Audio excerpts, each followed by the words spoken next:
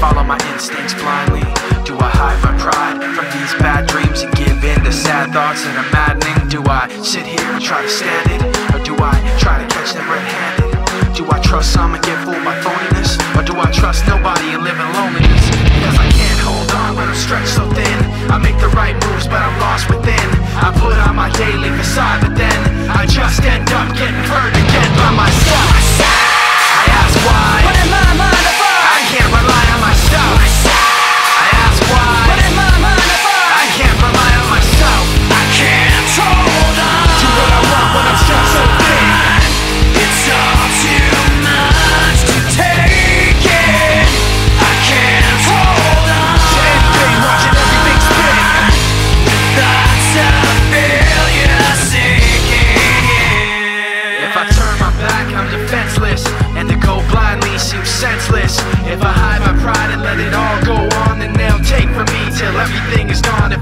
let them go, I'll be outdone But if I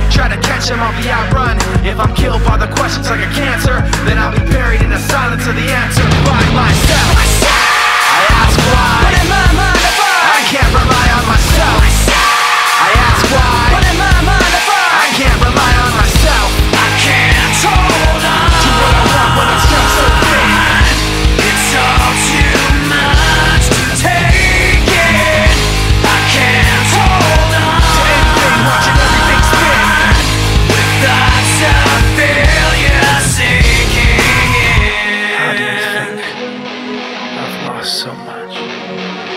So afraid. I'm out of touch.